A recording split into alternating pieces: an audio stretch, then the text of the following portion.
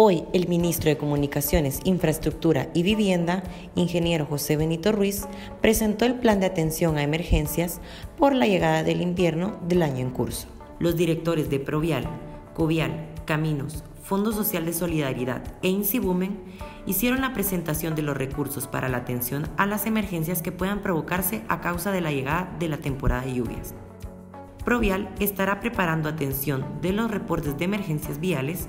Asimismo, el personal de las unidades estará en la misma disponibilidad de brindar atención primaria en las carreteras. La Dirección General de Caminos cuenta con maquinaria y recursos en 22 zonas viales para atender los trabajos necesarios de habilitación de vías.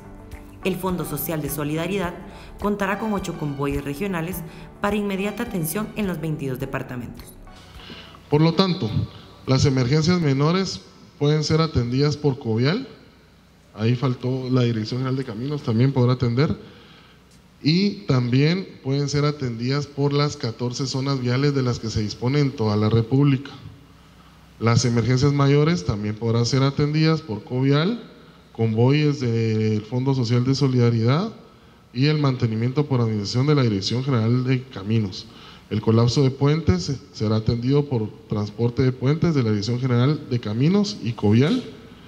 Y el colapso de tuberías transversales lo atenderá Covial, la Dirección General de Caminos, hundimientos y socavamientos, Covial y la Dirección General de Caminos.